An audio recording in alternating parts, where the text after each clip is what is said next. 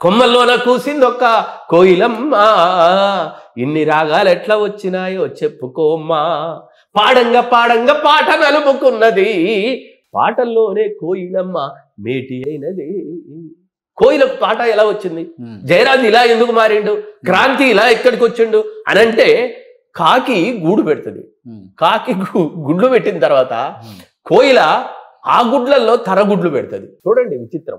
కాకి పొదిగి పిల్లలు చేస్తుంది. వారం రోజుల తర్వాత కాకి గొంతు పిల్లల గొంతు ఒక రకంగా ఉంటది కోయిల గొంతు ఒక రకంగా ఉంటది. ఈ కాకి పిల్లలైతుంది కాకి కాకులు మొత్తం కూడా కోయిలలో తను తన పిల్ల కాదనుకొని గెదిమి పారేస్తాయి. వెంటాడుతూ ఉంటాయి. తన తల్లి ఎవరో తెలియదు. తన పొదిగిన తల్లి ఎల్ల- ఎల్లగొట్టింది. కన్న తల్లి ఎవరో తెలియదు. ఆ చెట్టు చెట్టు చెట్టు చెట్టు అరిసి అరిసి అరిసి ఆ శోకం నుండే ఒక అద్భుతమైన రాగాన్ని తీసింది. అలా కష్టపడి ఒక రాగాన్ని కోయిల పాడుతుంటే కాకి పిల్లలన్నీ క్యావు క్యావు అంటూ తెల్లముఖ వేశాయి. కష్టపడకుంటే విజయం సాధించలేము. వివక్షత లేకుంటే జయరాజ్ ఇంత తోడుగాడు. వివక్షత లేకుంటే బాబాసాహెబ్ అంబేద్కర్ అంత పెద్దవాడు వాడు కాదు. వివక్షత వల్లనే అది వివక్షత అని చాలా మంది అనుకుంటారు. ఆ వివక్షత ఉండబట్టే నేను ఒక విప్లవ కవిగా వచ్చాను. ఆ వివక్షత ఉండబట్టే ఒక మార్క్స్వాదిగా ఎదిగాను ఒక అంబేద్కర్ వాదిగా ఎదిగాను ఒక బుద్ధిస్టుగా ఎదిగాను ఒక ప్రకృతి ప్రేమికుడిగా ఎదిగాను. కాబట్టి అన్ని నైతిక విలువలు ఎక్కడ వచ్చినాయి క్రాంతి? మీరు గమనించండి.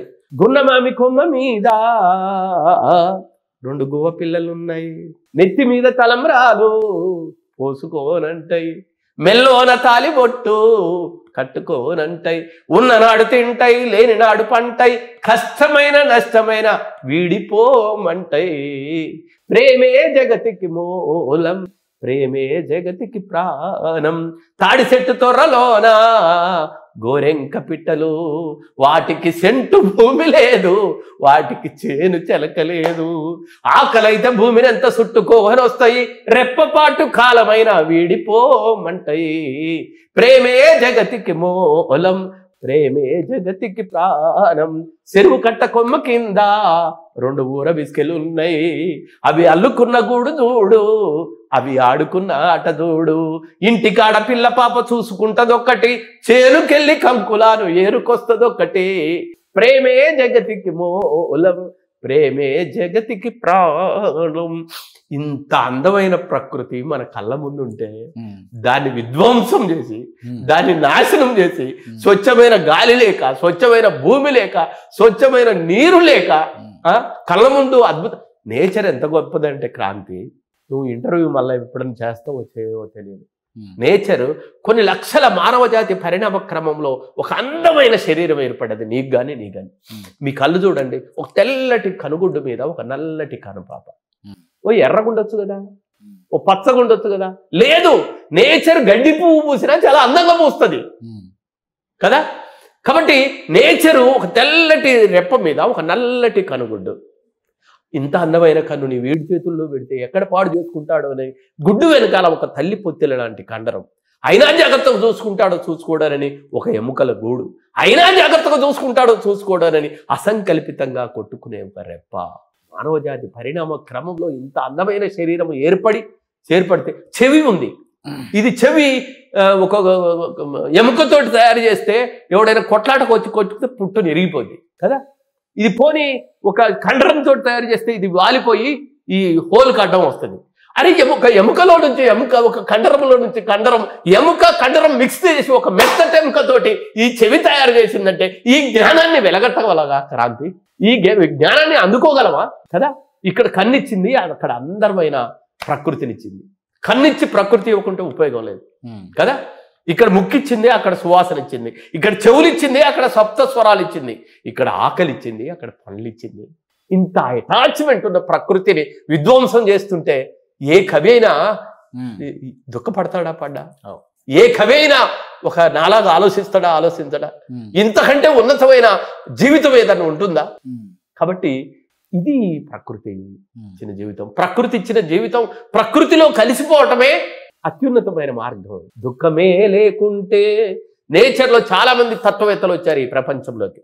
కొంతమంది నీకెప్పుడు సుఖమే ఉంటుంది సుఖమే ఉంటుంది సుఖమే ఉంటది అని చెప్తా ఉంటారు. నీ దుఃఖాన్ని కడిగి వేస్తాను నేను చాలా మంది చెప్తా ఉంటారు. కదా? తప్పు. ఎవ్వడు కడిగేయలే.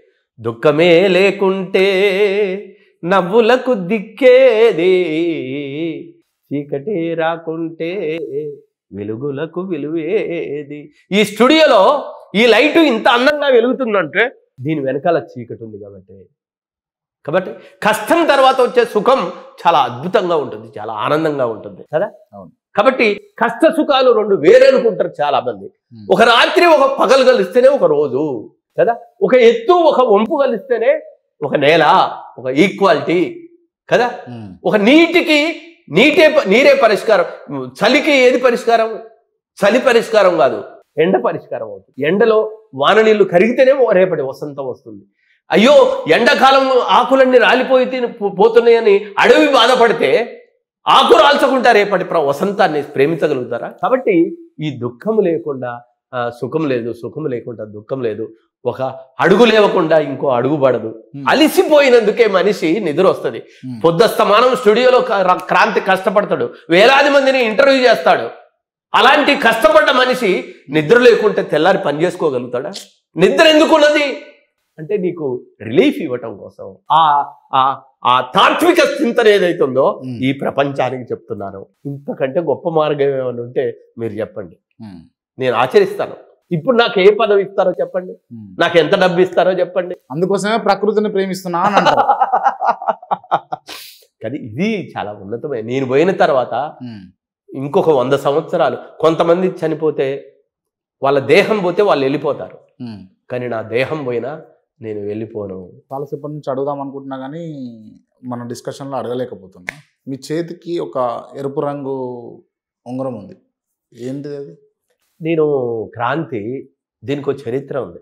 మా ఆవిడ చాలా ప్రేమతోటి చాలా సినిమాలకు పాటలు రాశాను. అడవిలో ఉన్న దండోరా కొన్ని ముప్పై నలభై సినిమాలకు రాశాను.